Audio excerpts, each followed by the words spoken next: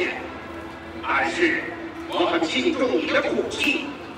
现如今，我倾国大军锐不可挡，一旦城破，玉石俱焚，岂不可惜？不如归顺我的大金，保你荣华富贵。住口！完颜中恶，率兵占我城池，杀我百姓，掠夺财物。你当心如铁石，想劝我投降，痴心妄想！你是为国而死，虽败犹荣。阿帅，我是出大宋的时候就对李刚有所知晓，他这人有胆有识，运不深，他打气。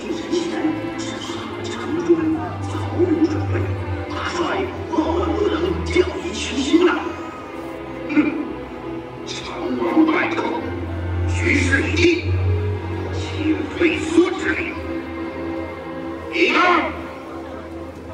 你既然是一意孤行那我就成全你们。